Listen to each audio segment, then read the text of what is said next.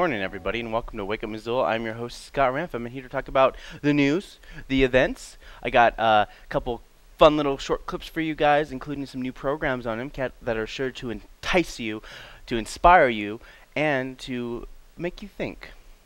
Let's talk about some uh, things that are happening that uh, won't necessarily make you think, but will make you uh, kind of panic. Is that there's more of that flood warning happening this week until uh, Thursday uh, noon. So you have that fair weather, 55 degrees. It's going to change with isolated showers, scattered thunderstorms, with uh, 50 to 20 percent chances flowing pretty much all day today, with uh, 40 percent happening tomorrow, and hopefully by well, it looks like most of the week it looks kind of rainy, but I'll have more than that a little uh, for your Friday to talk about whether or not the weather is going to be just as bad, if it if not worse, later on in the week.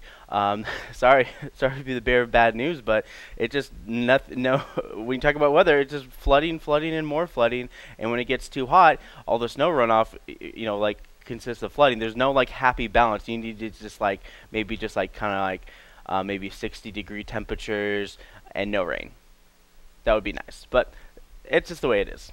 In news, uh, with the flood water getting into all bits and pieces of the Missoula County, a new tea-colored plume in the Clark Fork River may include contaminants from the old Smurfit Stone holding ponds, prompted um, Missoula County commissioners to request water samples on Tuesday, a plea echoed by Montana's U.S. senators. According to an article uh, in the Missoulian by Eve Byron, um, an official letter to be given to Federal Environmental Protection Agency for immediate action to determine the impact of the area. Record high flood water persists through the week, but many things are put on hold as a result of high moving waters through Missoula. Of course, not enough uh, to stop people from uh, surfing Brennan's Wave, but to keep officials from these high flowing rivers, the EPA has conducted tests and monitoring the site since its closure in 2010, but Senator Jon Tester calls this an emergency situation due to flooding, and Steve Daines echoes his fellow senator on this issue. Sarah Sparks, the EPA program manager on the site, said that she had already gotten water samples from the river and said that it will be uh, and will um, will be testing for heavy metals, which will be uh, known in about a week or two about the results. Um, but of course, uh, but says that there's no groundwater or river uh, or the river is in danger of contaminants. Um, the Montana Department of Environmental Quality says that they believe the dark colored water is sedimentation from the floodwaters, but both senators call for a thorough investigation of full site to capture the full scope of the environmental impacts and hazards. Um, in state news, in Havre, two women were stopped by Border Patrol officers over the weekend who accused them of being illegal immigrants solely for the use of the Spanish language. The women, who are U.S. citizens, said that uh, the agent detained them for about 35 minutes Wednesday in Havre, a small city 30 miles from the U.S. Canadian border. One of the women, Ann Suda, asked the agent why he was asking for identification. And this is in quote, I recorded him admitting that he just stopped us because we were speaking Spanish, no other reason. Suda wrote on Facebook, post published early Wednesday. The agent said, Speaking Spanish is very unheard of up here. Uh, Customs and Border Pr Protection spokesman uh, Jason Givens declined to answer questions about the incident. He released a statement that said that the incident is being reviewed to ensure that all appropriate policies were followed. A federal lawsuit filed last month claims that the Havre Border Patrol agents detained nearly 24 hours uh, of a newlywed woman for uh, who was four months pregnant and her husband from Mexico in 2016, even though they both had shown uh, the agents uh, the correct documentation. Border Patrol cannot stop a person for any reason alone, so in some instances, uh, minor infractions have been used to check citizenships. Um, in national news, Trump takes out one step closer to be the first U.S. president to meet with leader from North Korea. Uh, Donald Trump is in South Korea to meet with President Ma um, Moon Jae-in um, to talk about how Trump should approach the new North Korean dictator. And if I butcher that name, I'm sorry. But according to the South Korean uh, uh, security experts, a meeting is still scheduled. The Trump administration insists that North Korea must completely dismantle its nuclear program before getting any relief from economic sanctions.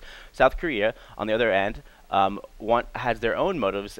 They want to get the uh, um, the the city um, in which uh, I, am kind of going off script here, but they want to get the city in which the uh, intermediate um, the uh, standoff line is, the uh, neutral zone. They want to get the city in the neutral zone. But of course, um, in other new, in other ways, uh, Trump has complained about what he sees as the country's freeloading reliance on U.S. military might as leverage against North Korea.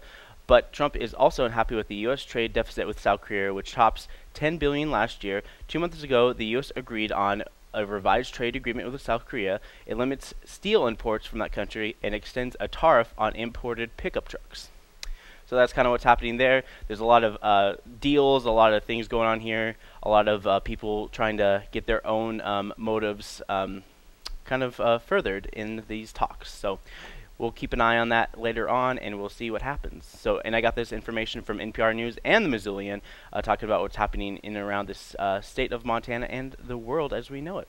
But that concludes all your uh, news-related items. I got some new programs for you. Uh, Jack Metcalf uh, joins uh, Steve Gluckert in Look Before You Speak. We got a brand new um, Missoula Out and About featuring the Bonner Milltown History Site. So without further ado, here's some new programs, and when I come back, I'm going to be talking about some city council stuff. So stay with me.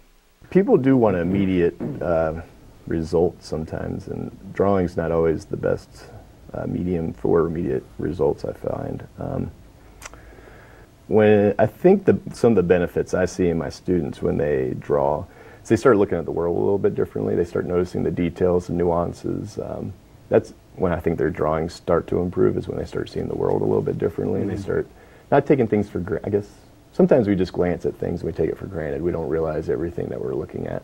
Jack,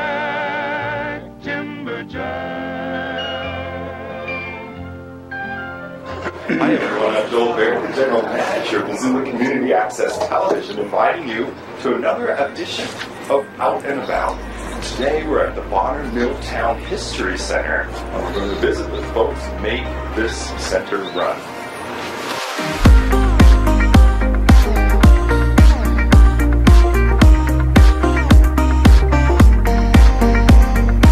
Um, the candidates, we're gonna, we're having a candidate forum tonight, and the first race we're gonna look at is the county commissioner's race.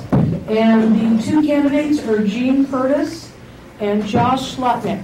I um, think that the most urgent things that will be on the county's um, agenda this year will be a couple things. One is economic development. Um, we need to have higher paying jobs uh, so people can afford houses here. Uh, we're not going to get the price of land to go down probably, so that'll be one of the solutions haven't had a job that I had to apply for. Everything I've done has been the result of co-creating a vision and turning that vision into a reality. I've been inspired to do this because I fear for the trajectory we're on. We're headed, we kind of are at, actually, in this place, a deeply economically segregated society, where there are people who can afford to live here, own a house, and people who just flat out can't. Oh my gosh, it's so great to be here. Um, I have had the good fortune of working with a small team of folks from Missoula for the past year under the leadership of Kaya Peterson.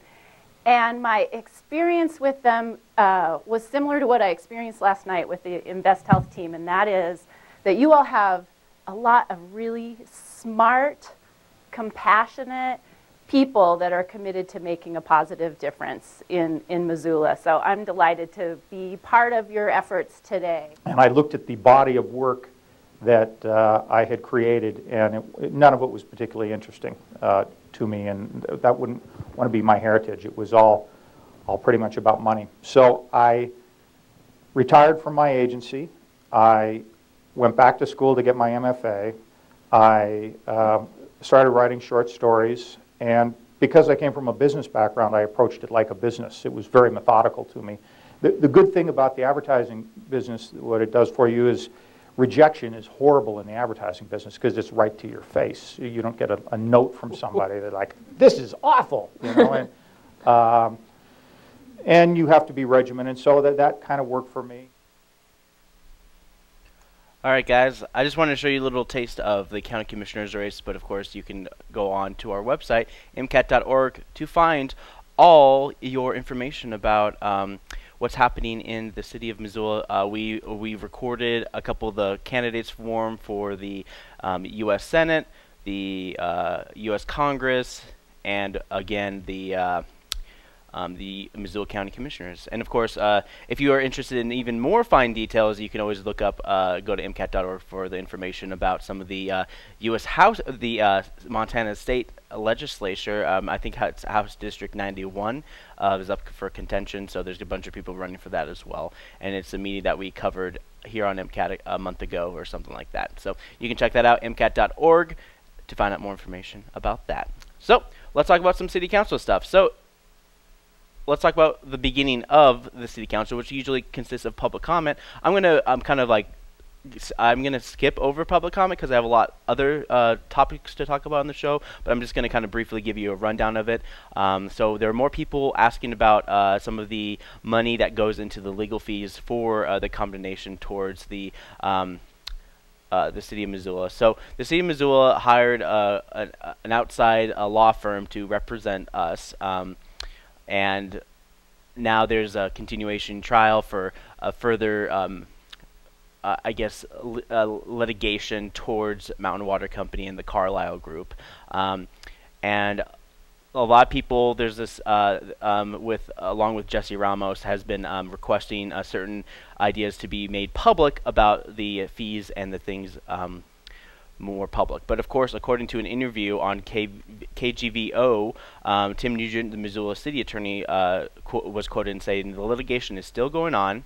The attorneys that represent the city have requested that it be attorney-client privilege and attorney work uh, product privilege, and they have the information. We don't have it in my office, and I don't know any city office that has it. So the attorneys have it, and upon any request, you'd have to request it from the attorneys that represent the city of Missoula. And you can find out more by going to uh, the city website and even calling them. Um, at their offices at City Hall.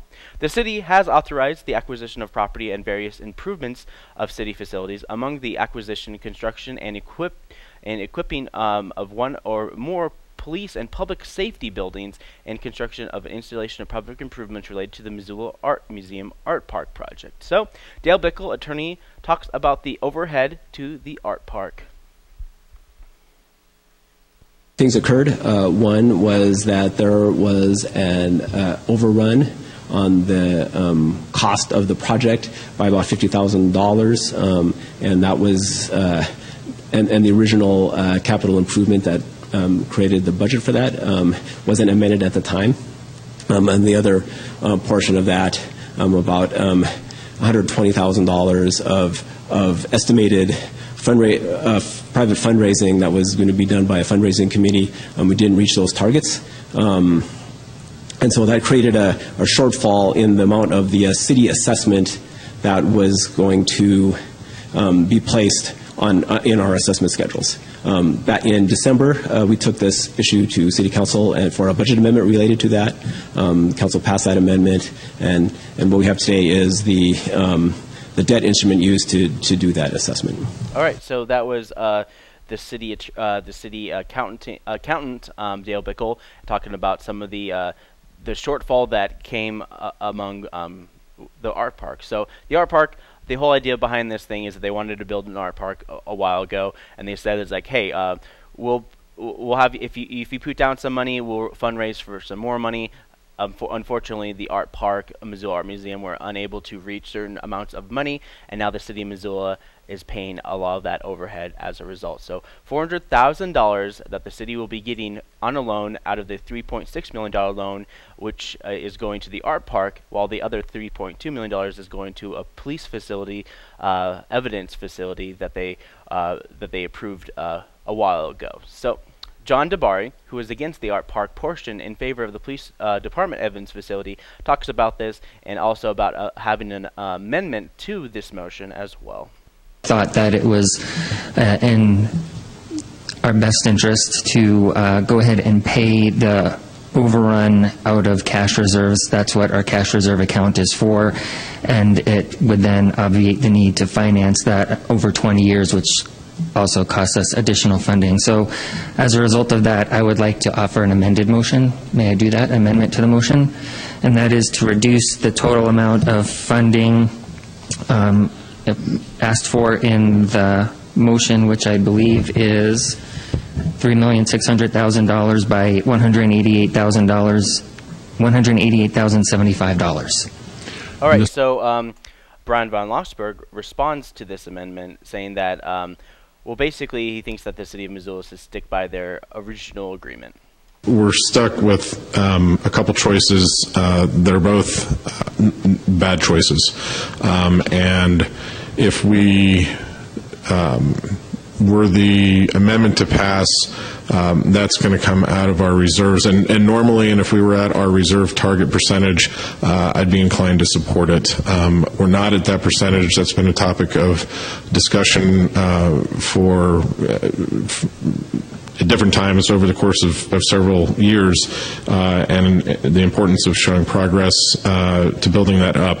Uh, given that, when I weigh the costs of the two approaches of um, uh, bonding it in this fashion with the other amounts versus uh, the impact to the cash reserves, um, I think it's a more prudent uh, decision to to keep it as is. Um, but All right, so that was Bryan von Lossberg um, talking about that. Um, they opened it up for public, public comment, and here's Jerry Ballas for public comment um, talking about how he feels about the art park. on a mistake that somebody made, and according to the paper, somebody double counted a grant. And don't you hold anybody responsible for that? When you write your contract with people? When you're going to, Mr. Mayor, when you're going to do this next wave thing, who's going to be responsible for that? You're going to write an open-ended contract and they're going to come back and they spend more money on something and they're going to come back to the city and ask you to pay for it? Uh, I appreciate John's uh, amendment, uh, at least trying to take the money out of your reserve fund, because I guess you, the city council, are the ones that are really responsible for the air. All right, so that was uh, John Ballas. Um, wait, wait, wait. Let me. Yep, Jerry Ballas with public comment. Needless to say, this amendment motion did fail, and the original motion to get the $3.6 million loan was approved. John DiBari responds to Ballas's comments um, after the fact. Um, the funding, I think Mr. Ballas raises a good point about um, having to be extra careful when we enter into agreements with uh, organizations who are well-meaning, have excellent projects for the community, but um, for some reason or another may not be able to execute on on their um, their aspirations regarding those uh, projects. And so um, I'm hopeful that we can sort of learn a lesson from this and, and be thoughtful and careful as to how we craft uh, agreements with uh, organizations with which we partner in the future. All right, so um, many organizations um, in the city of Missoula, uh, in the city of Missoula work with the city of Missoula and have a nonprofit status, and a lot of times uh, they work out a deal with the city of Missoula to basically not have to pay any taxes or property taxes in their specific area if the kind of uh, nonprofit always is kind of like enriching.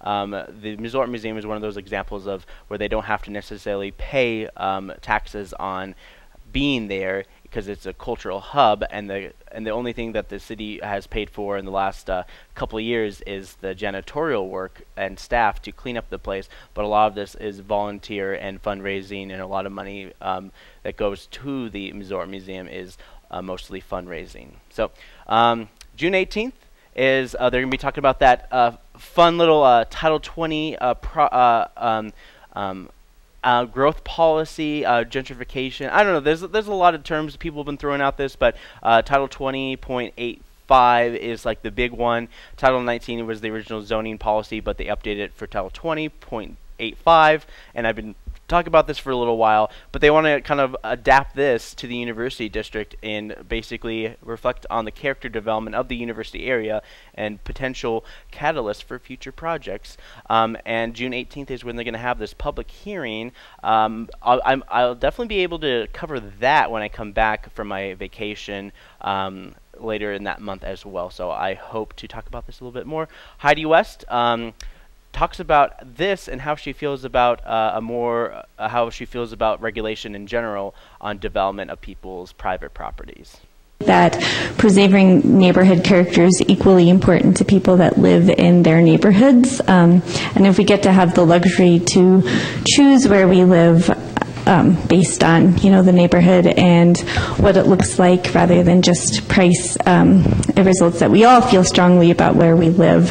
Um, and I think that the university neighborhood already has a lot of existing parameters that direct land use decisions that align in a greater way to the physical landscape that's present than many other neighborhoods in Missoula. Um, I think that there are other neighborhoods that have a greater disparity between what's physically present um, and the allowable zoning. And I think that, you know, just in zoning alone, uh, there's a history there that encapsulates inequity where traditional lower class neighborhoods um, with high rental rates and also less ability to self advocate are zoned denser and with less protections for the people that live in them. Um, so, for example, my own neighborhood is a, has a historic um, neighborhood which is predominantly single family homes, um, which was formerly occupied by railroad and mill workers, and they're being replaced by residential developments that have no setbacks in some cases um, because that's allowed by zoning, especially along the railroad corridors. Um, and I think that as policymakers, we should be considering um, the folks that have the least resources and advocate for them first, um, because if we raise the bottom, we raise it for everybody. All Um, right, so that was Heidi West talking about some of the issues when it comes to um, development, just in general, um, and how uh, the rattlesnake community, which which- the one she's part of the ward is, is she's kind of reflecting on that as well. If you want to reflect on this meeting, you can go to ci.missoula.mt.us. It is a wonderful website to find all your information about the city council and all the committee meetings and more. All you got to do is go to your government. You go to agendas, webcasts, and minutes. It's right here. You can't miss it. You click on it. It'll bring you to this nice little page right here. You have to wait a couple seconds because uh, internet in Montana, right? Um, and it brings you all these meetings. You can see agenda items for all upcoming meetings that are happening this morning. Pretty much, committee of the whole looks like it's starting as early as now. Uh, here's a couple other meetings as well. We got city council and then the last public safety and health from um, May 16th. So those are some of your um, um, informational um, things um, about the city of Missoula. So if you're interested in that, once again, ci.missoula.mt.us. Um, I want to talk about Dubbin Stuff. Um, Dub Stuff is where I find old public domain movies and redub my voice over it. So without further ado, here's Dubbin Stuff, and when I return, I will talk about some events that are happening in the city of Missoula. So stay with me.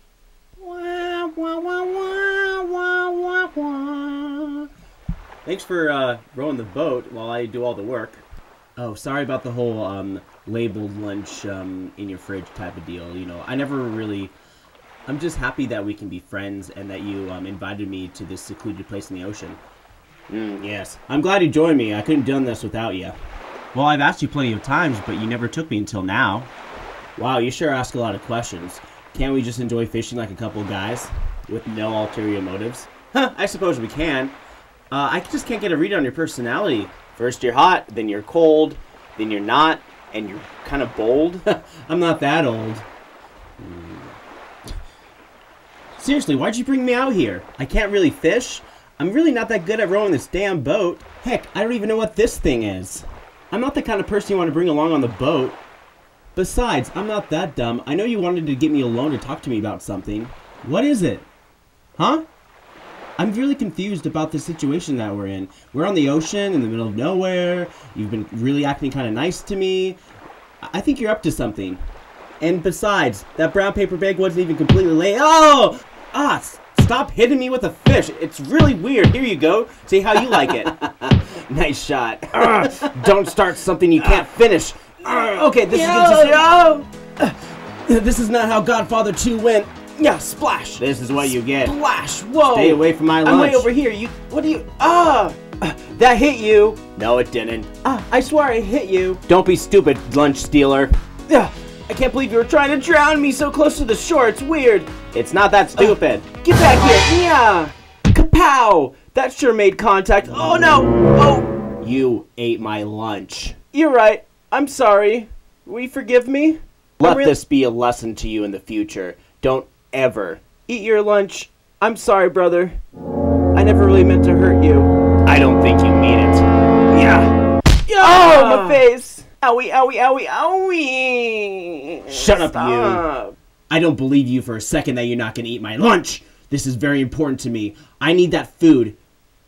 I'm gluten intolerant, and it's the only food I can actually eat on this godforsaken island. Do you hear me? Uh, ooh, ee, ah. mm. Come here. I didn't want it to come to this. what is it? Wha- uh. what's so funny? gluten intolerant isn't real. How dare you be so ignorant? gluten intolerant is just a sexy word for bread makes you fat. Bread makes you fat?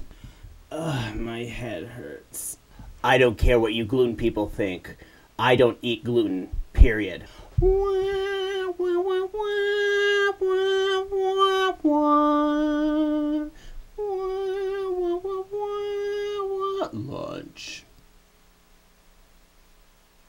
Hey guys, welcome back. Let's talk about some events that are happening in and around the city of Missoula. So, if you planning on uh, doing some things, you can go to MissoulaEvents.net for all your information. That's where I get my brief information of basically just copy and paste a lot of the things from there, and just kind of giving you the rundown of what's the thing, what's the beat on the city of Missoula for Wednesday and Thursday. Uh, but let's kick things off. Uh, Missoula Indoor Sports Arena uh, Mismo Gymnastics and Roots Acro Sports Center are the place to be if you have a kid who's in preschool or not in school and are just learning to um, walk. And if you want them to be a little more advanced with gymnastics, why not? You know, it's never too early to get them exposed to this, and it's in a giant padded room in a safe environment in those places. Art in the Moment, Missoula Art Museum starts this new program at the MAM, which provides a friendly art viewing and art making experience for those the early stages of dementia and their caregivers. Based on the Missoula of Modern Arts Meet Me program, Art in the Moment creates a dementia friendly learning community and provides an opportunity for caregivers and those who with dementia to be uh, together in a creative and relaxed environment. Uh, Tiny Tales is at Power Place at 10:30 a.m., which is a fancy word for the Missoula Food Bank. Um, you can go there. Um, kids learn nine new words a day, and this is for kids aged birth to uh, five years of age. Uh, Spectrum Robot Robotics is happening in their uh, makerspace and more. Actually, it's not their makerspace; it's in more in their kind of like science lab. So Spectrum is your place to be from 11 to 5 p.m. in their open hours. Communication practice group is starting at 12 noon. Jeannette Rankin Peace Center, um, a compassionate and, communi- and compassionate communication practice group it's every second and fourth Wednesday from noon to 1 p.m. And it's at the Jeannette Rankin Peace Center, which is uh, 519 South Higgins, and it's also near their Olive Branch uh, location as well. And it's facilitated by Patrick Marsalik, and it's uh, they uh, ask you to bring lunch. Um, but if you're interested in doing some lunch and playing some games, Missoula Senior Center has all that in spades, where they provide uh, Scrabble and Bridge at the Missoula Senior Center starting at 12:30. Missoula School Writers Group are happening from 3:30 to 5 p.m. at Missoula Public Library, and this is the place to be for any uh, middle schooler who wants to improve their writing skills and wants some um, um, constructive criticism. Um, Missoula Art Museum Awards 2018 at the Missoula Art Museum starting at 5:30 tonight. All MAM supporters are invited to join the official art park opening and a celebratory evening to honor the MAM's most generous supporters and volunteers. It is the one year anniversary of the opening of the art park, and this year's MAM's award goes to the art park volunteer extraordinaire Kevin Gordon. And Kevin became the backbone of the art park com- committee, le- uh, leading to uh, community fundraising with his absolute belief in the project and uh, guiding the construction process with his wisdom and calm demeanor. And also tonight at the Zootown Arts Community Center is two-hour class as seen on so basically, if you've ever seen a how how-to video on anything, um, this is a great place to be for Zootown Arts. This is a two-hour class which will focus on projects that are easy to make and complete, but may require a new-to-you technique or an eccentric uh, uh, eccentric materials. Um, class attendees will be strongly encouraged to personalize their work and create something that is unique and meaningful to them. So it's basically kind of like uh, um, create it. What? I don't know, something.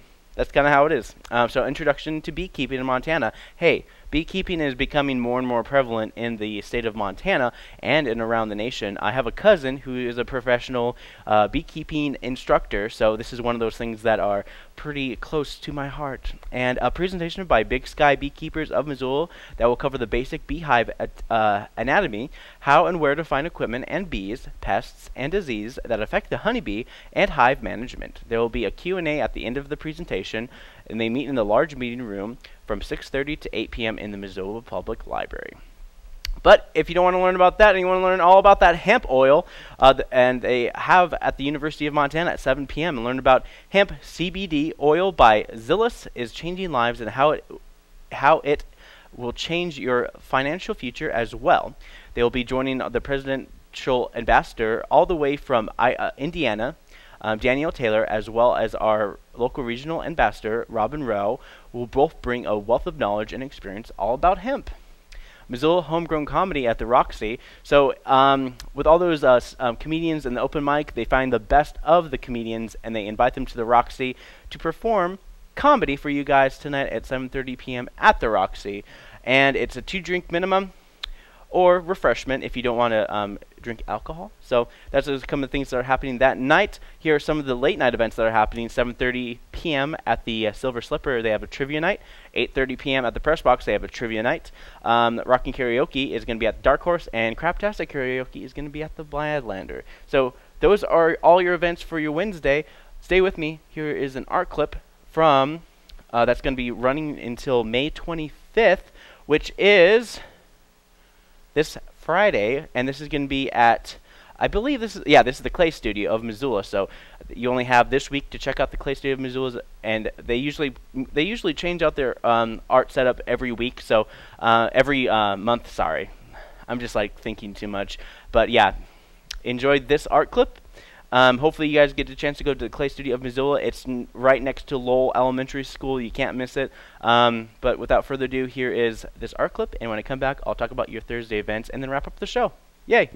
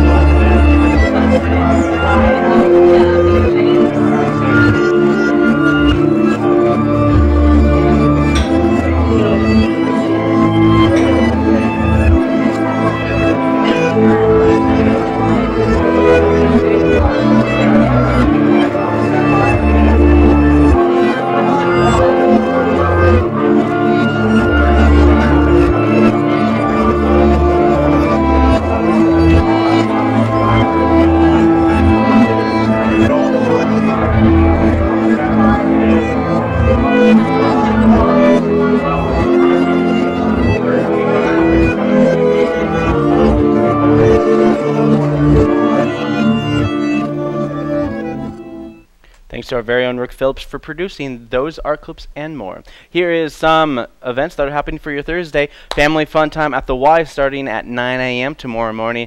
If you are a family and you're looking for some family fun together, Family Fun Time at the Y is the place to be. Bring your family. They have a pool, they have a basketball court, they have rock climbing wall, and more, all at the YMCA. Tiny Tales is going to be at the Missoula Public Library at 10:30 a.m. tomorrow morning. Spectrum has heart dissections from 11 to 5. Bridge Group meets at the Missoula Senior Center at 12:45. Uh, it meets every Wednesday, Thursday, and Friday for Party Bridge. All ages and skill, skill levels are welcome. It's a $2.25 fee is charged to cover expenses.